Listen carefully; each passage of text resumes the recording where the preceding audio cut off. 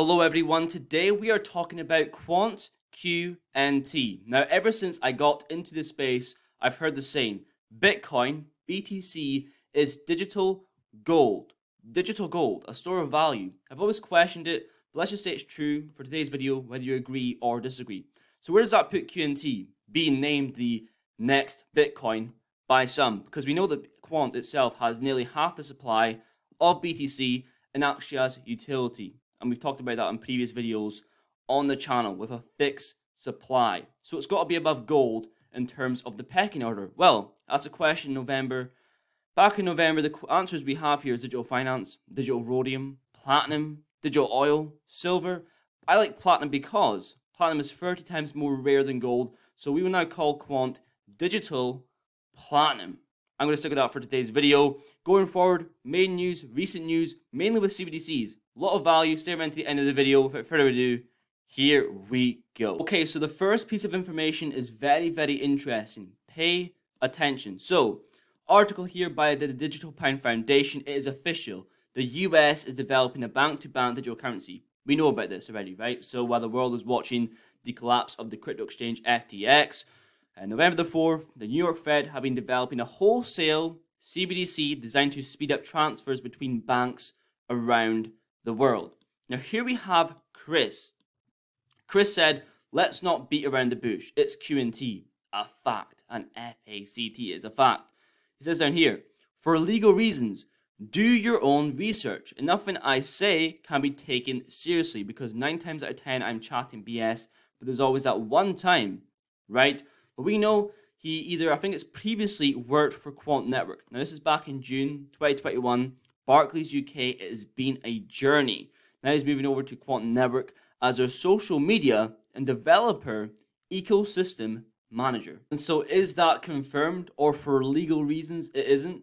Very, very interesting. Let me know what you think down below. Also here we have Digital Euro on EU priorities list before 2024 elections. This is on December the 15th, two days ago. So we can read here.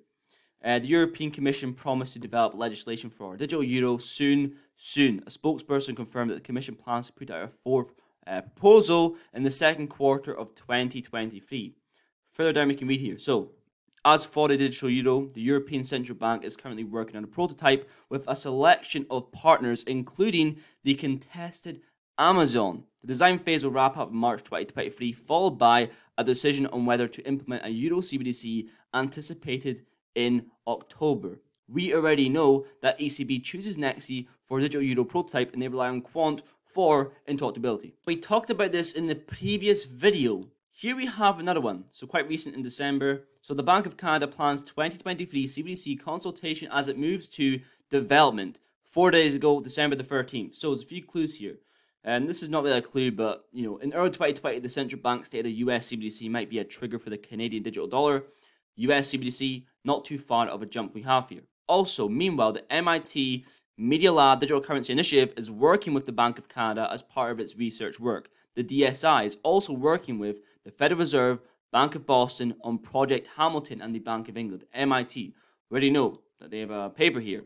MIT Connection Science with Quant implementing a CBDC. The solution being Quant. And this is a game we're trying to play here. What CBDCs are involved with Quant? We know for a fact as well when it comes to connecting outside of a CBDC network. When it comes to CBDCs wanting to connect to other applications, Quant will be involved in those processes. So nonetheless, if they're not involved, it is still positive nonetheless for Quant itself. Also, another article here, so many articles. The Bank of England puts £200,000 on the table for a sample CBDC wallet. He wants here a handsome reward for any third party able to provide a proof of concept for a central bank digital currency sample wallet. And we can see words down here from the man himself, Gilbert Verdian. There's a part I want to read here. So meanwhile with Project Rosalind, the BIS Innovation Hub London and the Bank of England are looking to the future, testing how to issue, embed and settle CBDCs for retail payments use cases with industry participants. We can also see here, Basel Committee endorses global banking rules to be implemented by 2025 that encourage a 2% limit on crypto exposure. Realize how huge this is. They want you to believe crypto is dead. Watch what they do, don't listen to what they say. So right now that's a limit on 3.6 trillion dollars. If all banks followed this exact initiative, it'd be around 180 trillion dollars. This gives you a vision of what crypto can be like in the future in terms of actual market cap, approaching these high trillion dollar sort of values. That's obviously if every uh, bank in the world followed this initiative, but more will do. More will. We also have here for crypto here stay, Fidelity, crypto decoded, Fidelity crypto. So get in on early access list to trade Bitcoin and Ethereum. Start with names that you know. Invest with a name you can trust. Plus, get education. It takes the cold talk out of crypto. Get on the list to trade these assets with Fidelity. Crypto is here to stay. And lastly, a video of Gilbert Verdian. That is pretty much it for today's video. Quite a short one, to be quite honest. But I really want to make a video and post this information out here. Uh, this information, you know, confirmed, not confirmed with the US uh, bank to bank digital currency. Very, very interesting. So, so far today, we talked about uh, Quant being digital platinum, beyond digital gold, more valuable than BTC. We talked about um, pretty much confirmed but not confirmed US uh, bank to bank digital currency. We talked about the digital euro here and Quant's involvement. A bit of a stretch towards the Bank of Canada applying their CBDC, but possible.